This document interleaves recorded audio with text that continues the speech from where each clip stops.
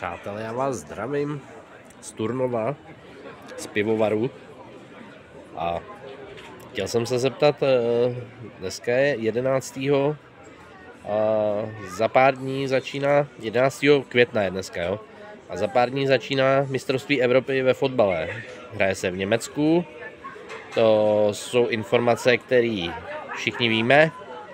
Ale chtěl jsem se vás zeptat, koho favorizujete, kdo si myslíte, že to vyhraje.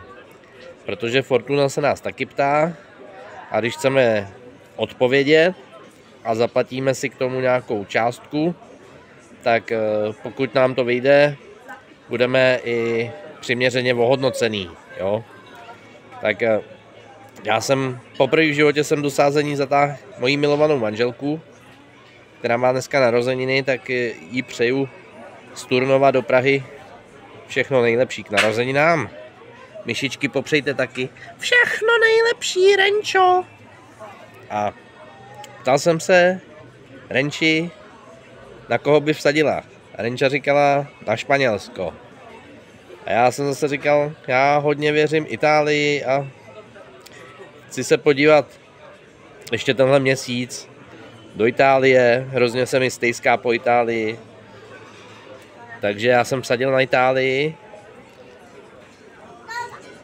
Já jsem tady na to dal braille, protože občas trošku to tady profoukne. Jsem na terase. Nechtěl bych tady někde ty sázenky honit. Takže Renča má vsazeno na Španělsko, decentně jo, 250 korun. A možná výhra může být 2250.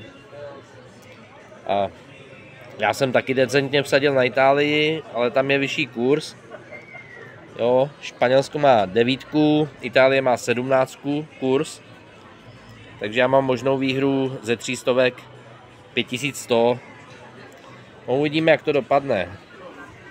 A mě by zajímalo, ženský asi mi psát nebudou, ty asi na fotbal moc nekoukají, nebo jestli koukají, tak zase nekoukají třeba na mě, na můj YouTube ale nějaký, nějaký pány tam mám a věřím tomu chlapi, že budete na ten fotbal koukat a chci se zeptat, kdo si myslíte, že to vyhraje? Napište mi do komentářů. Mějte se krásně z Turnova.